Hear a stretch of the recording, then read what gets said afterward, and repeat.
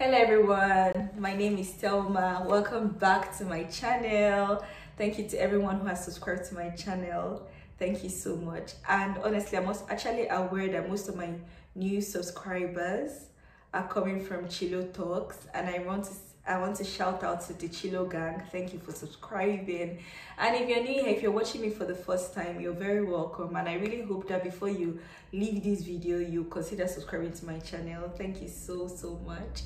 Okay, so um, I made a video with um, Chilo Talks last week regarding working in Japan as a teacher. And I got a lot of questions about, you know, a lot of things. And I decided to make this video to address them to answer them and all. And yes thank you all for answering as, asking those questions. Um i really hope that i help out in this video. Yeah. I'm hoping that this answers your questions actually.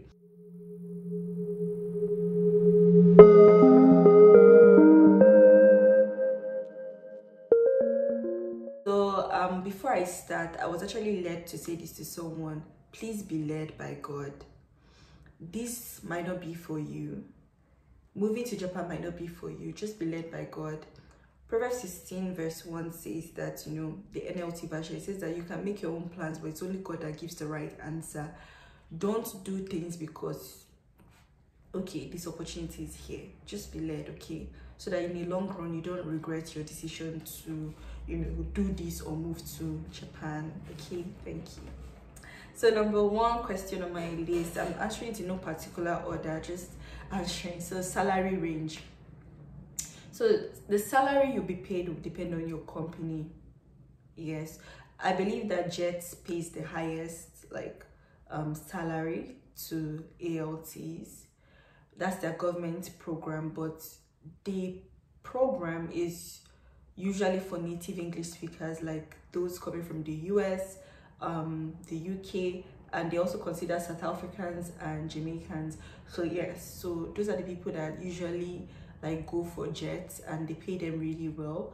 But for every other company, the salary range is eight thousand five hundred to three thousand dollars. Yes, eight thousand five hundred to three thousand dollars. That's the salary range and i must also say that your salary can be affected by a number of things like holidays. So some companies don't pay you during the holidays like when um school goes on holiday they don't pay you for you know they just just pay you for that month that is a holiday. So summer vacation most people don't get paid during summer vacation and also like during any public holiday don't expect to get paid for that day. So it could actually reduce what you're going to be getting for that month yes. And another this thing is also city policy. So um the city you are in can have a policy where maybe a teacher in um junior high school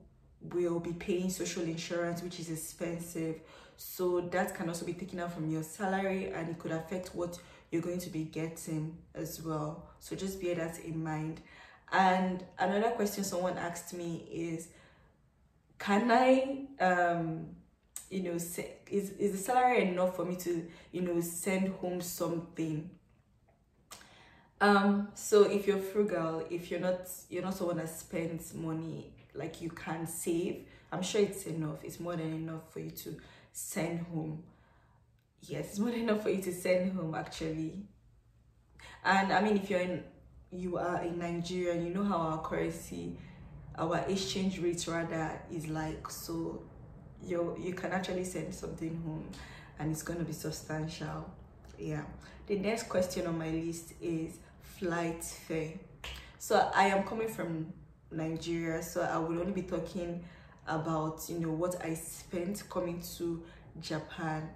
So usually when you're coming to japan as an alt you don't necessarily have to have a return ticket to be honest because you're going there to go and leave. So while you're having like a return ticket? So when i came to japan i think i spent around 400 four sorry 400 yes sorry 450,000 naira to come just a one-way ticket so i will from this i will say just budget like 400 thousand to like maybe one million naira. I don't think it's going to get up to one million naira at all. I don't think so, especially if it's a one-way ticket. And I mean, sometimes you will see that um, these um, flights, these airlines run like a promo or they give a discount. So just keep checking the flights you want to, you know, come with. I came when I was coming to um, Japan. I came with Turkish airline. Yes, and even when I traveled for summer and then I was coming back, I came back with Qatar airline, which is really really like affordable. I think Qatar is really really affordable. Yeah, so and just in case you're wondering okay where can i even maybe in case just see these discounts and all you can go to google flights like it's not a, like use google flights not like google flight but like that's the name google flights right? And you can also go directly like to the airline like go to Qatar airline website themselves or Turkish airline website themselves which I also recommend because if there's a problem with you know your tickets or anything or plans change you can always get a refund or it's just like you have a ticket to like hold on to for you know for other travels. Um and then you can use a third party as well. You already know that. So another question i got is visa cost so again i am nigerian so i'll be speaking um i'll be talking about the visa cost in nigeria. So when i applied for visa or when i got my visa in 2020 i paid 8,350 naira but currently the fee is 9,700 naira yes. And one thing the good thing about this is that you don't pay you don't pay any application fee you know you just go and submit your papers the papers that you know that your company sent to you, you just go and submit them to the you know, submit it to the embassy and you know if you if you get the if you get the visa then you can now actually pay the visa cost. So you're actually not losing out on anything if you know. But another advice is that please go to the embassy with the exact sum. So they will not give you um change. When i mean? Change they will not give you change basically. So just go with the exact sum. So if it's 9700 naira please go with that amount of money. Don't give them 8000 naira. They won't accept it. They would not accept it. Yeah. So um what else today was i asked? Yeah i also forgot to say so if you're an american citizen you will not have to pay for these visa costs. So i think that's the advantage. I don't know about the uk or anything but i only know that when i was there someone who was an american citizen did not have to pay for the visa costs. So yeah. Another question i got is would you need proof of funds when applying as an alt so i know i said that in chilo talks but i want to say it again. No when you're applying like when you're going to the embassy you're not going to take with you a proof of funds and maybe paper or anything no. Your company is believed to be your sponsor so you don't have to you know give them any proof of funds. But however some companies require that you provide a proof of funds for them. Yeah so for them. And then how much should i budget to come to japan? It's a very important question because Japan is not a cheap country. It's very expensive. So um, you're advised usually to come with like minimum of $5,000. But if you can't make up to that $5,000, which I wasn't able to also um, meet up, you can come back, come here with less than $5,000 but see the minimum should please be $3,000 you don't want to live on the edge to be honest. You don't want to you just don't want to live on the edge. You don't want to be having high blood pressure because you know your money is going to be going down. Because the moment you come to Japan you're already spending money. So please come with enough you know cash. You might not have to spend. The thing is that you might not even spend the everything. But i mean no one says it's bad to have like savings you know nobody says it's bad to have surplus so just come with enough money. Okay. Then um another question is i this is when i come to japan you know how would i get transportation? So it's like transportation like question. So especially now in covid when you're coming to japan you're not going to be allowed to use the public transport so you're just going to be you have to have like a private hire vehicle. So i i was very glad to have found GOAL international company. So you can use GOAL international company. You can pay them while you're in nigeria with the nigerian currency. You can even chat with them on whatsapp. They're very good. They wait for you even before you you um arrive yes because you just tell them your flight time and all that and they're really there. Very very good service i believe. And it's not sponsored obviously. Yes so what else? And i i don't know if it's necessary to leave the link for gold international company but i might leave the link for their you know for their service.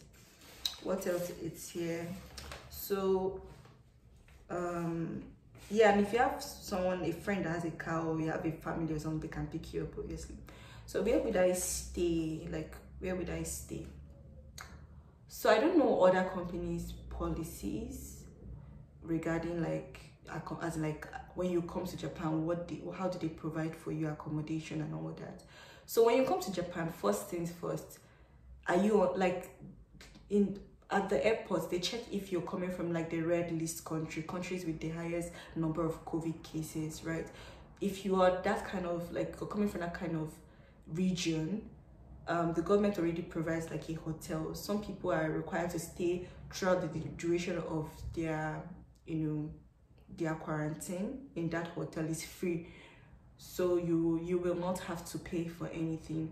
And if you're coming from other regions that just a little bit you might stay there for a while then you have to move to you know wherever you need to go to you know so that's also you know that's also something you should just know. And i mean there's airbnb just go to airbnb.com you find like an airbnb you know my advice is that you book it before you even come to japan yeah your airbnb. Then um how long is the contract usually for? So i get these questions a lot. So a new school year starts in april and ends the next year march. So that's like supposed to be like a one year contract. Yeah. So that's when your contract actually ends but it can be renewed. So if they like you they renew it and you for another one year again. Yeah that's it. And it's not so compulsory that you stay in that city where you are posted forever and ever. Your company might lose the contract for that city. So it's like they these comp these companies have to bid for contracts in those cities you know to be able to recruit ALTs so it's just nice but it's not your business. All you need to know is that your contract ends the next year March. And when do I have to apply? I answered that in Chilo Talks channel you can apply at any time of the year. When you get the job you know i mean anytime you come they actually find a position for you. Yeah. So also where is the best place to request that they post me? So like an ALT job is like if you're Nigerian like NYSC they post you anywhere.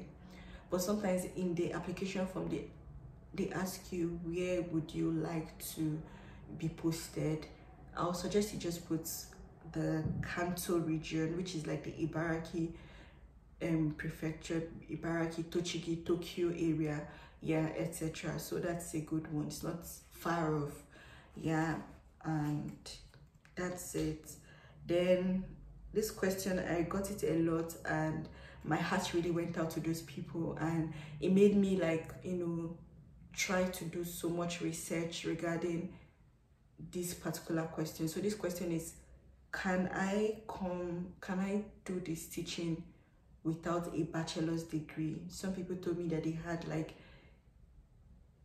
um, a diploma, HND, they graduated from a polytechnic, would that you know count as a bachelor's degree and you know i i just really really wanted to help and then i went on researching and i saw two companies that have no requirements regarding bachelor's degrees.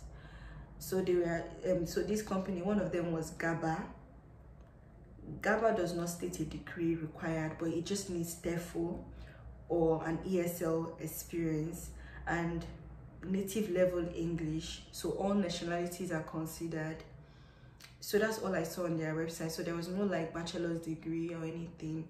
Another thing is another company rather is nova nova is an english conversation school just like GABA. It's not like an ALT thing. So it's like you're required to teach like businessmen or you know gr grown people, not necessarily like children. So Nova is like an academy, like it's just like a conversations, as I said. So they take care of visa arrangement as well, housing support, picking up the candidates to their accommodation, but there's no statement of requirements for you know a bachelor's degree, only native level um English. So I don't know if this helps, whether you try. I, I believe that sometimes you just have to, you know, try. You have nothing to lose. So these companies, you can try them out. Uh, yeah, you can really try them out and see what happens as they did not have any requirements. Maybe when you apply and they get back to you, they might just tell you of their requirements and then it's funny because i've seen that in some requirements from other companies they say bachelor's degree or diploma. So in my in my head i'm wondering what's diploma? It could be that hnd so my dear my suggestion is just apply maybe during the interview or something or maybe when you submit your certificate and you know they look at it and they say oh okay is what's this? You can explain to them what it is okay there's no harm in trying. Don't don't limit yourself because i said oh it's only bachelor's degree. Just try because i believe anything is possible. You might be the one that would change you know the way they see these things you know. You can be the change. Yeah. So that's i think i think i have answered. I really wrote them down. I think I've answered most of these questions. And then, yeah, maybe just the last thing I wanted to chip in is what's the social media you can join if you're eventually coming to japan that will you know just help you um you know be on the know of the requirements for coming into japan at this time. So um we have um returning to japan. So it's a support group. So if you're coming to japan and you're not sure of you know what what are the requirements now for coming to japan what are their covid laws um returning to japan group on facebook is really a good one to join because they help you. They give you all the the you know all the requirements for coming into japan. Yes i hope this video was helpful. I really hope i answered all the questions for real. Yes another question i got another question i got is um is there any chance for promotion? No there's no chance for promotion honestly. You're never going to be promoted no matter how long you stay in this job. If there's an advantage of this this job gives you rather there's an advantage is that you have time to learn a new skill um you just have time on your hands to do the things you want to do because during like when school is on holiday you're also on holiday you your the time like you usually close earlier than the other teachers because you're not really really a staff. Yeah you're just helping them so you just have time. So that's the advantage. So think about it very well. Is this what you want to do when you're coming? And if you're about to take this step i'm also going to leave you with a scripture. Uh, there's no way i'm not going to end. Isaiah 41 you know just don't be afraid. God is with you strengthen you don't be afraid. Just dive in knowing that god has your back okay? Okay. So i've come to the end of this video. Please i hope you found this very helpful. Don't forget to like share and subscribe to my channel. Thank you so much. Bye